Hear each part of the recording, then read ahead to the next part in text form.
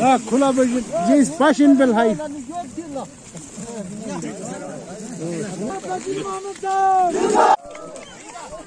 सबसे पहले हम अल्लाह ताला का शुक्रिया अदा करना चाहते हैं। उसके बाद इन गरीब आवाम का जिन्होंने वोट देकर डी टी नुमाइंदे को कामयाब बनाया। जिसने कामयाब होते हुए हमारे इस गरीब इलाके के लिए आयर साटी का बंदोबस्त किया। हमारा ये इलाका आज तक हर मामले से नजरअंदाज था। लिहाजा जो ही हमारे कैंडिडेट ने जीता है, हम हुकूमत का शुक्रिया अदा करते हैं। सबसे पहले हमारा कैंडिडेट का और बीजेपी का शुक्रिया अदा करना चाहते हैं, जिन्होंने हमें एड साटी दे दी। हमें ये हाली सर्विस मुकम्मल रखी। हम अपने नुमाइंदे का खासकर रेजा एजाज खान का शुक्रिया अदा करना चाहते हैं, जिसने बीजेपी की मंडे लेकर यहाँ की सीट जीतकर गरीब आवाम के साथ अपने हमदर्दी का इजहार करते हुए आज 20 साल के बाद पहली बार हमारे इस तिरेल बड़गाम सेक्टर में पहली बार हैली आ गया। और हम बीजेपी का खासकर इस चीज़ से शुक्रिया अदा करते हैं, जिसने हमारे नुमाइंदे होने की वजह से इस गरीब आवाम को नजरअंदाज नहीं किया।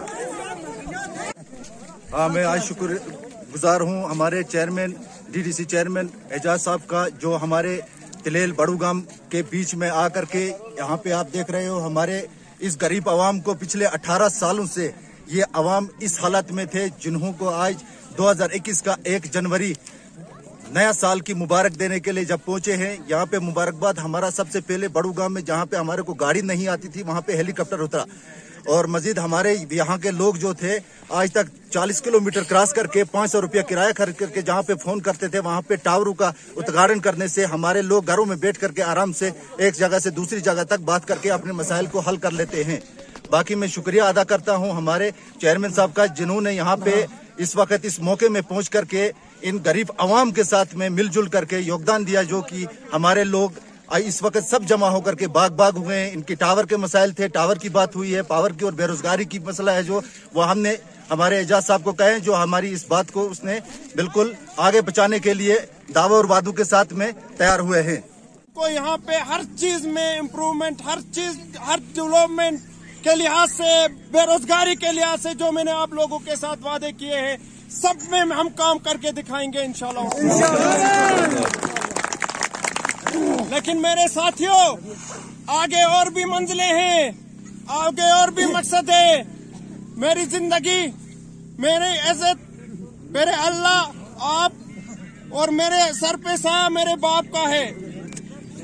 जो माल कोई सुनो अल्लाह की कार कुर्बानी दे चुकी हूँ आगे वो सबसे बड़ा इम्तिहान हम हमारे बीच है।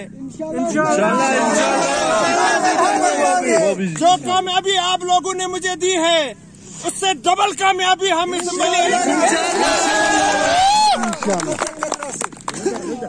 अब घबराने की ज़रूरत नहीं है इंशाल्लाह रहमान। अब सब चीज़ें आस्ता आस्ता ठीक हो रही है। हमें से नफरत करने की इजाज़त नहीं देता। हमें किसी से नफरत करने नहीं देता। असो हजूर पाक